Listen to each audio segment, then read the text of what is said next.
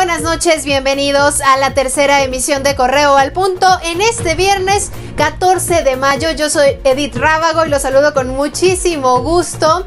Y mañana es 15 de mayo, Día del Maestro y de parte de todo el equipo de Periódico Correo queremos enviar una gran felicitación y agradecimiento para todos los maestros que sin duda marcan nuestras vidas. Vamos con la información al punto.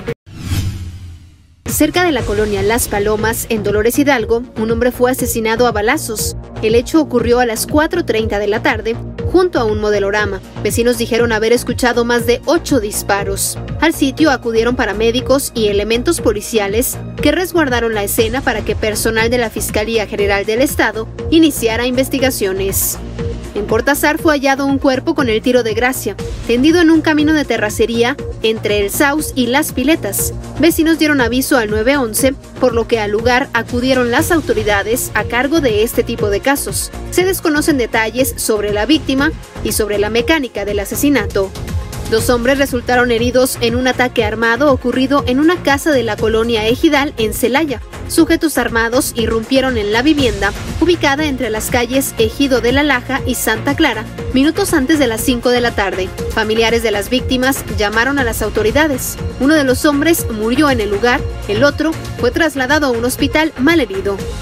Habitantes de la colonia San José en Salamanca denunciaron que por los registros escapan aguas negras y materia fecal debido al mal estado del drenaje. Señalan que aunque el problema tiene más de 15 años, empeora con las lluvias. Después de la tormenta del pasado jueves, entre las calles Naranjos y Sol, brotaron las aguas fétidas que recorrieron varias calles y dejaron residuos. Los ciudadanos piden apoyo de las autoridades para poner fin a la situación el resto de la noche y del fin de semana. Quédese conectado y bien informado con nosotros a través de las redes sociales y de nuestra página web periódicocorreo.com.mx. Además, a primera hora no se olvide de adquirir su edición impresa de Periódico Correo.